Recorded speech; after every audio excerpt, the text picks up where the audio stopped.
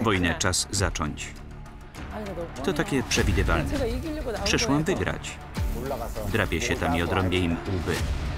Przygotujcie się na zryw czarnych łyżek. Pokażą, czy nadają się do swojej klasy. Myślisz, że przegram? Czy się z niej wyrwą? Dajcie mi jedną szansę. Co to? To obłęd. Kim będzie jedyny zwycięzca tej zażartej walki stu szefów? No kto?